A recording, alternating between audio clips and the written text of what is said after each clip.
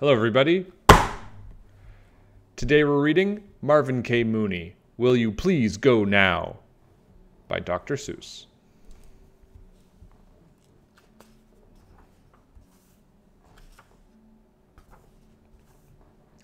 The time has come.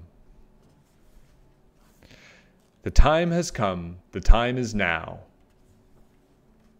Just go, go, go. I don't care how. You can go by foot.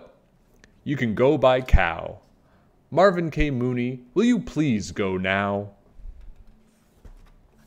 You can go on skates. You can go on skis. You can go in a hat, but please go, please. I don't care. You can go by bike. You can go on a Zike bike if you like.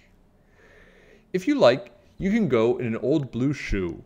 Just go, go, go! Please do, do, do.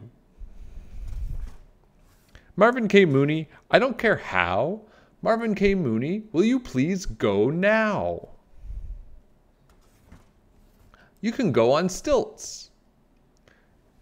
You can go by fish.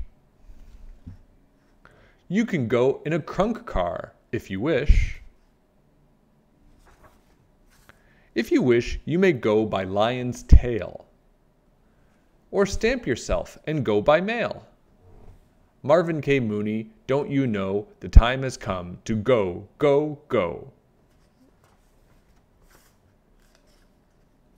Get on your way, please, Marvin K. You might like going in a Zumblezay.